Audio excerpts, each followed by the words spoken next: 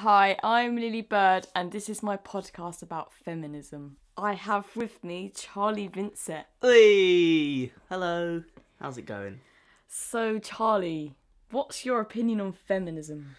Um, my opinion on feminism is that all feminists should go to hell. No, I'm joking. Um, well, just uh, what in what sense? In what sense of the word? What What do you want me to say about feminism Um, in general? Feminists, bad feminists, good feminists. What What, what are we talking about here? what do you think feminism is a positive movement on our society?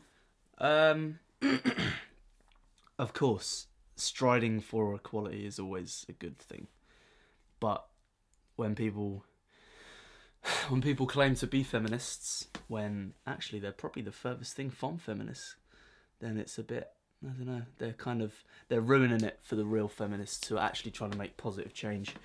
And they're just kind of bringing that whole. That's why people, people think it's a bit ridiculous, and people don't like the idea of feminism because of these idiots. I Pretty much. agree. You agree? I think that feminism, the idea of feminism is positive, and I would say that I agree with it and that I am feminist. Yeah. But I don't know. That, that- like you said, there are people that like Take it a step too far. yeah, and just ruin what it actually means, and then other people that don't know much about feminism get the wrong idea and think, oh no, feminism is negative and it's not good. Like It's like the whole um the whole Kleenex issue. yeah, It's like the it's like all of these feminists clumping together and trying to make a change about this this issue that isn't even an issue. This is not. It doesn't. It it's it has no impact on anybody's life whatsoever. yeah, but there's female genital mut- like mutilation in Africa, and there's so much rape going on in India. But they don't want to strive for change for that. They care about labeling on a tissue box. Like, come on, man, sort your priorities out. Do you know what I mean? like Strive for something that's actually affecting the lives of women day in day out. Sort out suffering and sort out hatred and sort out all of these important things before you go to the non non-important issues like that. Like, come on, Re- is that really top of your list of priorities? It's pathetic. Yeah, I think like we're too many people are focusing on things like oh gender neutral and just you know like things like that, and it's like at the end of the day, women are being affected whether you want to call them women or not. It's women that are affected in these countries that, like you said, like gen. Uh, Genital mutilation. yeah, that's the word. yeah, like that's surely a bigger issue, and that's happening to women. So you can't. Why are you focusing on things like oh man-sized man-sized tissues. Oh yeah, because that because women really wake up every single day, look at that and go, oh my god, oh, oh my god, oh my god, that's affecting my, oh my god, that's ruined my life. Oh my god, mate, there's people literally again for the- probably the third time going back to genital mutilation that ruins women's life forever that is Exactly. it their life is over not over but their life is changed drastically from that very second yet you want to you want to discuss something that you don't even you don't have to look at. You can choose to ignore that. You can get on with your life. There's many more important things in the world than that. I'm i'm, I'm sorry but there is. Yeah, no, there is. I think that people just aren't focusing on the right things, and like for me, feminism is to help women that aren't being treated equally, like people that are like in countries where people women are getting raped all the time. I'm not saying like men can't get raped, obviously, but in the countries that women are getting raped all the time, like there, there clearly is an issue amongst women getting treated unfairly. Like that's especially in like middle eastern countries and stuff like that women are seen as like subhuman and it's like yeah, pick your battles man. Pick your pick pick the pick the most important ones to fight for. Like if the millions and millions of feminists who jumped on this whole Kleenex trend just to boost their own ego and to boost their own profile if they really looked at important issues, they could make some serious change, but they just want to do stuff to benefit themselves. exactly. Not real feminists. No, I think at the end of the day, feminism's for equality and so that there isn't anyone I mean, it's not just about. oh, Yeah, it's mainly targeted at women being equal, but it's men and women to be equal. It's not just about women. It is like yeah. Why? Uh, see, this is what I don't understand though. If it, they're clearly, and I'm not saying this is a problem because obviously they're looking out for women because in the instances that they're talking about, women are being treated unfairly and men aren't. So obviously, they're just trying to level the playing field almost. But they say that they're just as focused on men's equality, and it's like you don't have to lie. It's not a problem. It's not a problem to be focused on women's equality, but don't lie and say that men's equality is just as important to you because if it was, it wouldn't be called feminism. It'd just be called the radical equality movement, yeah, something like that. yeah, but like like women years ago couldn't even vote. Of course. And then when they did get the vote, you could only vote over like how old do you have to be like over 25, 30? It was it was something what like that. women? Yeah, you couldn't I vote didn't. I didn't. I didn't age. know that was the Yeah, when case. they I knew they the couldn't. vote. Yeah, I knew they couldn't vote. I didn't know there was an age restriction. Yeah, there was, and then What? So it was lower, for men but higher for women. Yeah. So men obviously. 18 maybe, Yeah. and then women were like 25, maybe 30. I can't actually remember what the age was, but like because women have like people didn't want women to vote or men didn't want women to vote because they thought their opinion didn't matter. Like, Yeah. that, that how how would suffragettes and all that. yeah, how would Yeah. you feel if your opinion just didn't matter? Like you had a strong opinion about some people. Like, well, I don't care. Your opinion doesn't matter. You're you're you were born like this, so you your opinion it, it's invalid. Like no one cares. That must have just been absolutely infuriating. That would would have that would have so drove me up the wall, innit? So you can't really blame them for calling it feminism because it's No, no, no. I don't. I don't. I absolutely don't blame them for calling it feminism.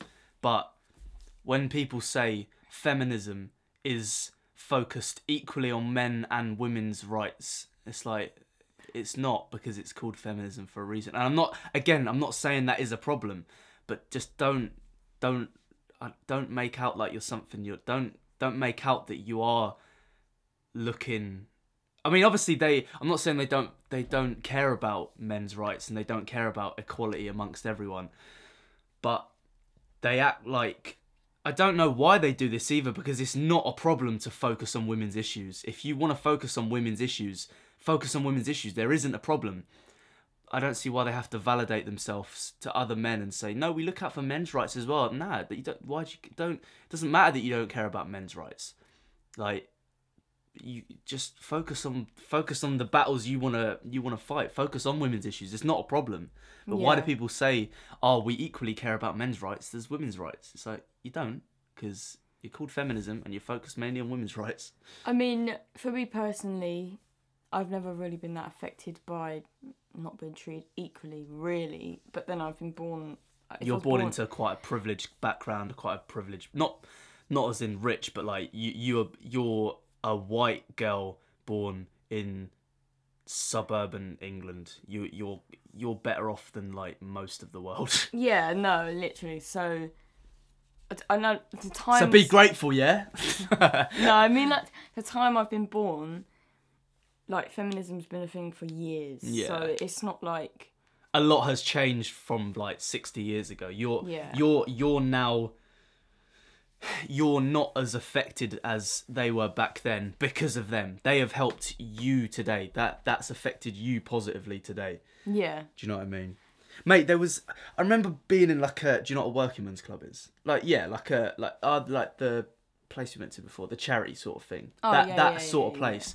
There was a line um so there was like the bar area. Yeah. There's a line of like laminate flooring and then there's like a metal casing that splits that and the carpet. yeah. And I was like, I've always wondered, what is that? Why is that there? And apparently, back in the day, women couldn't cross that line. No way. and I was like, what? That's insanity.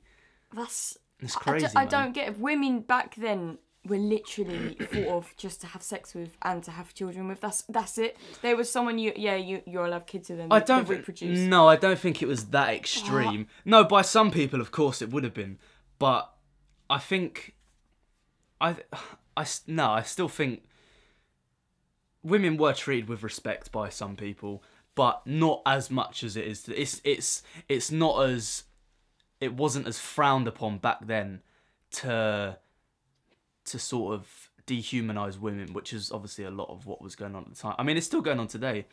Yeah. Like, did you see the case the other day about a girl? A girl was raped, and in court, this was only like a, a couple of weeks Oh, ago. no. A girl in court, they used evidence because she was wearing a certain type of underwear. Yeah, she said that that. she, that was that she was consensual because of the clothes she was wearing, and it's like, wow, this is this is genuinely still going on today. Really? I know. Just because of how you wear your underwear. This is the thing. Oh, you can't dress a certain way. You can't do this. Oh, Like I, sh- I should be able to go out in a short skirt and wear what I want, have my cleavage out or whatever, and and not worry. be raped. Do you know what I mean? It's like, oh so, no, you like you should be able to wear clothes you want without fear of being raped. Like that's just a given. Not even ra- you without being sexually assaulted or approached. You know what I mean? That that shouldn't be. Oh well, you were asking for it. It's like no, you weren't. I'm not being You were but you were wearing clothes that you want to wear. I understand when people say. I see, my opinion is when especially when like teenagers like when you're like i don't know 14 15 16 when parents are a bit protective and they're like i don't really want you going out in that for fear of your safety i understand that because Yeah. it's kind of like saying to kids don't go down this road. Don't go here at this time of night because there are dodgy people. There are always going to be dodgy people in the world and whether you think that no it shouldn't we shouldn't be teaching we should be teaching men to not do this to women. It's like yes of course but just because that opinion stand. Just because we should be teaching men to not do that doesn't mean that It's just gonna doesn't mean it's gonna just gonna stop overnight. So It obviously we need to educate men on not do and I, i'm not gonna lie in my opinion i don't think i don't think there's i don't think men need to be educated on these things because why do you not know this already? Why you why do you not know not to rape women and not to sexually assault women? Are you really do you really not uh, no I, I refuse to believe it i refuse to believe that men need oh you need to be educated like- as a child no you don't just be a normal human being you moron honestly don't- gets just- me angry man just don't rape someone. like you know when someone don't want it, just don't do it. Innit? I don't get it. There's And, like- you can tell you're a human being. You can recognize human emotions, and you can look at someone and go, "Okay, I can see you're uncomfortable." It, people choose to ignore it. I don't care what anyone says. People choose to ignore it. There's no need to educate men because men know what they're doing. They're just disgusting pigs. got into that. and then going back to the clothing, right? Yeah. Okay, and I know this is obviously it's different, but men walk around and they don't have to wear. They can go go around without their tops off. They can go around with their with showing everything just with a pair of shorts on, and then no one thinks twice about that. Yeah. But if a girl wears maybe a revealing top or something, they can get raped because of that, and then that's a valid enough reason to get raped is because they're wearing that. But men can walk around with their sh- sh- shirt off, and it doesn't matter. That's normal. That's It's yeah. It's just. Oh, I know it's different. I suppose it- it's just it's just a cultural thing. You can't. I feel like yeah, it's just it's just a cultural thing in it because women in Africa just walk around just breastfeeding their kids and just walk around without tops on and anything and I don't know. It's just it's seen as True, yeah. normal. I don't I don't know. I just it's just a it's a social norm in it. You're following like social norms, I suppose.